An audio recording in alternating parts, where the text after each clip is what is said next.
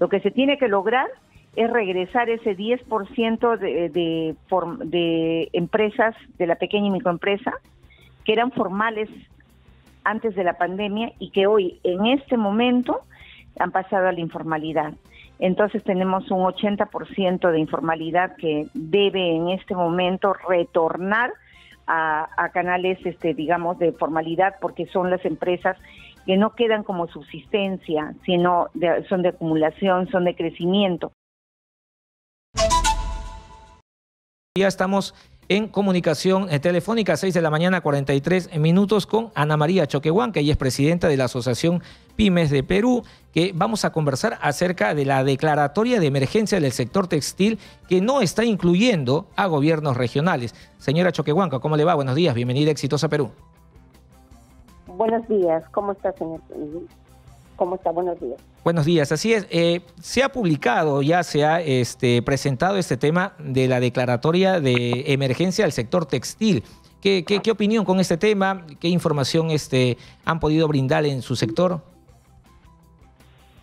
Bueno, este para nosotros eh, es para nosotros es importante saber que el gobierno está empezando, digamos, a, mirar hacia el sector para lograr reactivación. Nos parece muy importante porque el sector de manufactura después de la pandemia este es el que el que más ha sufrido, ¿no? O sea, todo el sector de manufactura en general, llámese metalmecánica, textiles, maderables, en fin, pero que empiece ya por lograr una reactivación efectiva en el texto, en el sector textil, sobre todo en el emporio económico de Gamarra, nos parece muy bien.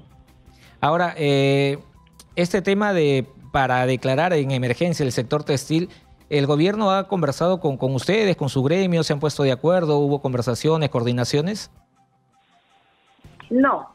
Este, tengo entendido que la mesa textil ha estado, este, estuvo integrada por los mismos, este, por los mismos gremios textileros de Gamarra. Nosotros no hemos tomado parte, pero finalmente cuando hablamos del sector textil hablamos hablamos no solamente de los gremios que puedan haber integrado una mesa. Nosotros pensamos como Pyme Perú que la importancia del sector radica no en, en personas, no en determinados, digamos, gremios, si se quiere, sino en el resultado del logro de beneficios que vienen para el sector. Entonces, este, tratar de, de, de poder hacer algo por este sector es una iniciativa muy buena, pero igual también este, demandamos que estas iniciativas pues, puedan darse en otros sectores y que pueda acercarse ahí a los gremios especializados, ¿no? Ahora bien, como usted mencionó al comienzo, es importante fijarse en regiones. Ojalá que todo esto no se centralice. Sabe que adolecemos aún de un centralismo bastante perjudicial a veces, que resulta perjudicial cuando solamente va enfocado, digamos, a, la capital. Yo soy de Arequipa, pienso que las regiones están demasiado recesadas y pienso que se debe hacer un esfuerzo mayor para lograr este, virar con todos estos beneficios hacia las demás regiones del país. 6 de la mañana, 46 minutos. Estamos conversando con Ana María Choquehuán, que ella es presidenta de la Asociación MIPE Perú. Estamos aquí en Exitosa Perú. Y, la, y la, situación de, este tema del gremio textil, incluso de otros gremios en regiones con este tema de la pandemia, ¿cuál es la, su situación real? Como le había manifestado anteriormente, después de la pandemia, mire, este, ¿cuál es la, cuál era la situación? La contracción de la pequeña y microempresa en el Perú, 500 mil empresas cerradas, medio millón de empresas cerradas, quebradas, en fin. Una gran cantidad, me parece que un 40% fue en Gamarra. Entonces, este, si nosotros detenemos los pulmones económicos en el país para que no tengan la misma productividad que tenían antes de la pandemia y debido también a temas de coyuntura, entonces no no se logra reactivar este a la, economía en el país. Lo que se tiene que lograr es regresar ese 10% de, de, de empresas de la pequeña y microempresa que eran formales antes de la pandemia y que hoy en este momento han pasado a la informalidad. Entonces tenemos un 80% de informalidad que debe en este momento retornar a, canales, este, digamos, de formalidad, porque son las empresas que no quedan como subsistencia, sino son de acumulación, son de crecimiento. Y eso es lo que se debe buscar. Ahora el, el gobierno tiene que sentarse a conversar con todos los sectores, con todas las empresas de todos los tamaños, porque somos una unidad empresarial, o sea, aquí no se trata solamente de enfocarse o de dirigirse, digamos, a un solo sector. Si bien es cierto, nosotros saludamos la iniciativa y pensamos que sí, al fin se ha podido hacer algo, entonces hemos tenido que hacer varias conferencias, hemos tenido que salir varios gremios para que el Estado por fin logre, digamos, este, eh, eh, hacer algo, ¿no? Ahora, mire, si hablamos del sector textil, también estamos hablando del programa de compras del Estado, Compras a mi Perú, que se vencía, se vence en junio el decreto de urgencia 058 que permite acceder al gran mercado de compras públicas en el país, o sea, las compras que el Estado a través de los ministerios le hace a las micro y pequeñas empresas. Entonces, el día, este, hace dos días nosotros hemos eh, rendido un homenaje póstumo a los líderes empresariales gremiales que perdieron la vida durante la pandemia. Entonces, eh, además, en el Congreso de la República, la presidencia del Congreso nos ha anunciado también que está, está presentando eh, la prórroga de ese decreto de urgencia, que no dejaría en el aire a, toda, todas las convocatorias y todos los procesos que las pymes este, vienen, eh, vienen participando. Sí, eh, usted nos mencionaba que cerca de medio millón de empresas han cerrado por este tema de la pandemia y todo y se han visto perjudicadas. ¿En cuánto tiempo estima que puedan recuperarse? Con esa inyección que, que está dando, esa inyección económica que está proporcionando el gobierno, esperemos que sea en poco tiempo. No, no podemos hacer un cálculo, porque no obedece solo a ello, también obedece a un entorno, obedece a, a herramientas que puedan facilitar el acceso, digamos, a estos créditos también, a estos, eh, a esta inyección de capitales. O sea, ahora hay que ver, pues, que este, que es, este, esta iniciativa del ejecutivo, que es más o menos un FAEMIPE, eh, no tenga las fallas que ha tenido el FAEMIPE, el FAETurismo, el FAE, este, el Reactiva, ¿no?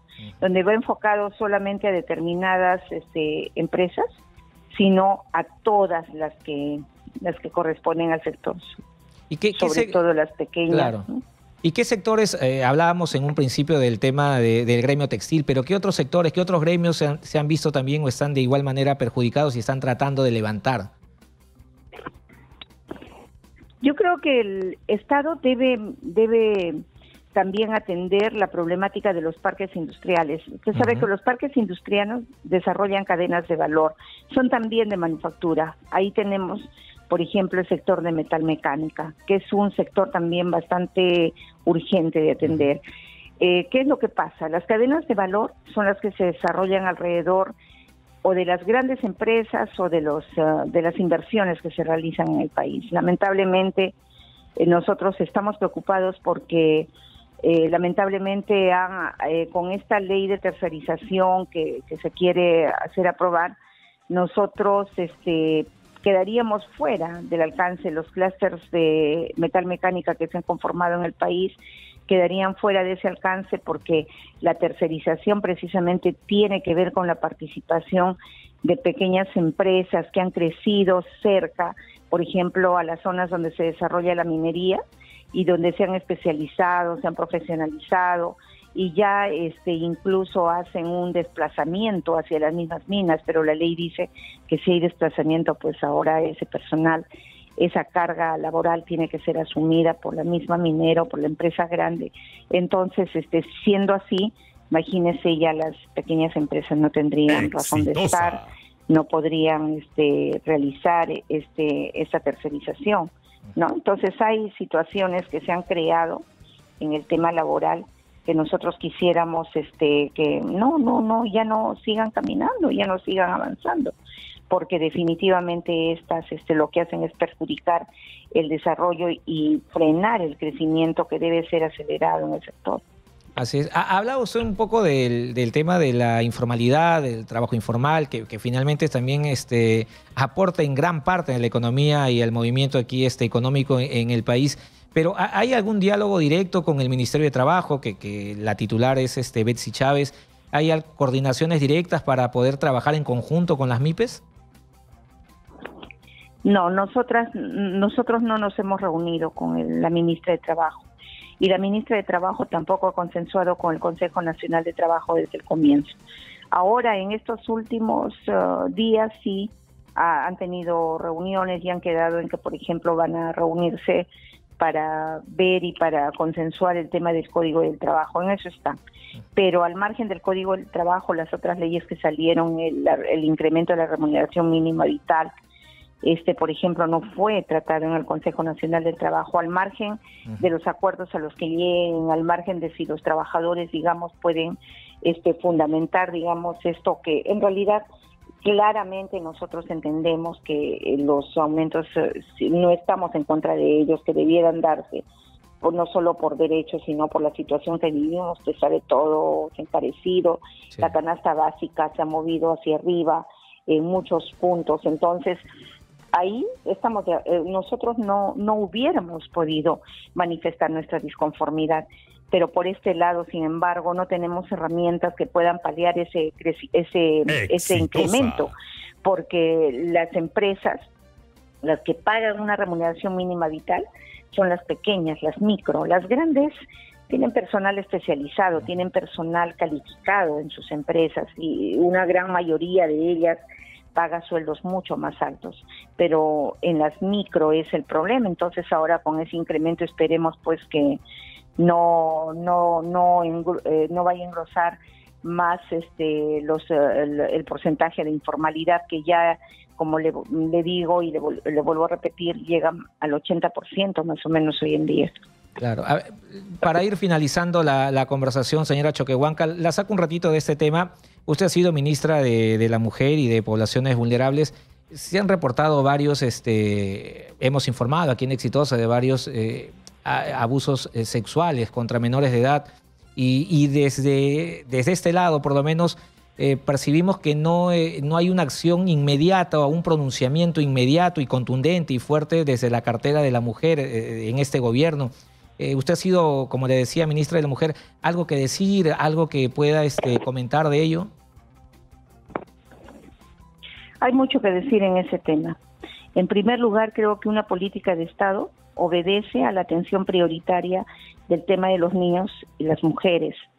Es este, hay una ley, la 30364, que rige para estos casos, para la protección de, los niños, niños, niñas y adolescentes y también para las mujeres. Entonces, lo que nosotros eh, esperamos del Estado es que priorice estos temas, que no son casos aislados, no son pocos casos, no son escasos, sino que eh, me parece que se ha perdido la coordinación entre los que son eh, las instituciones responsables que debieran atender esto con inmediatez, llámese Ministerio Interior, llámese Ministerio Público, este, el Ministerio de la Mujer.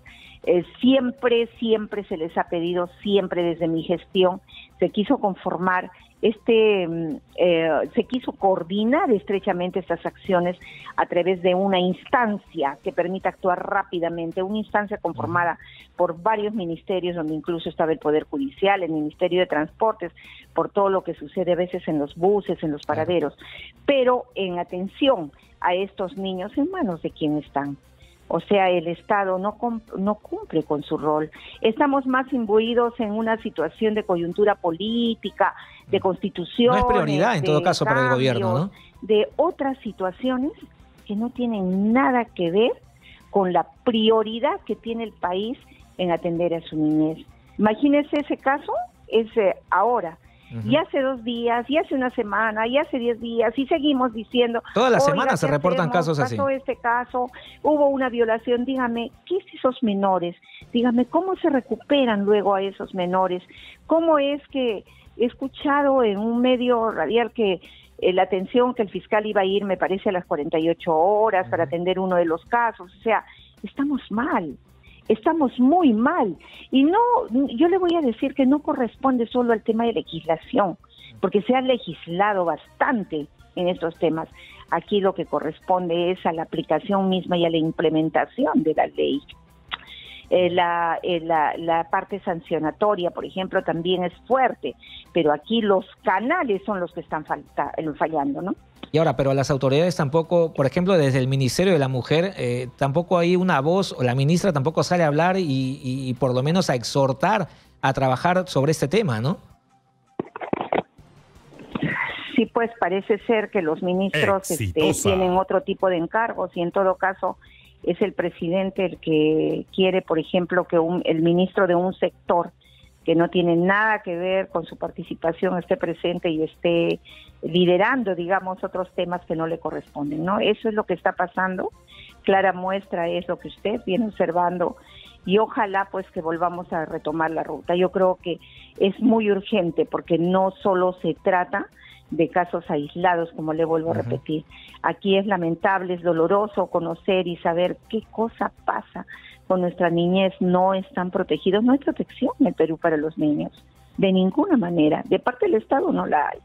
Y de parte de, de, las familias, pues tenemos este distintos casos que lamentablemente quizás también por las circunstancias son las las eh, mamás, eh, los padres de familia los que tienen que salir a buscar el sustento cuando ahora la necesidad es tan, tan urgente de, de, buscar alimento para los niños o de buscar un trabajo, en fin, no sé, pero definitivamente tenemos que implicar aquí, que llamar al Estado para que pueda atender estas necesidades, porque es el Estado el que tiene el que, tiene que actuar. En esta parte ya, cuando se ha cometido el delito, cuando ya existen ese tipo de acciones, ¿hasta cuándo vamos a esperar que sigan sucediendo? Hay que trabajar en prevención. Y eso es lo ah, eso es algo que tiene que, que, tiene que priorizar. la prevención, pero la prevención no termina de iniciarse. Y los casos se siguen resolviendo. Entonces, en el Perú vamos a atender casos ocurridos, no, no vamos a atender nunca temas de prevención que puedan, este, puedan más bien impedir que sucedan estos casos. ¿no? Ok, muchas gracias por la comunicación, señora Ana María Choquehuanca. Estamos aquí en Exitosa.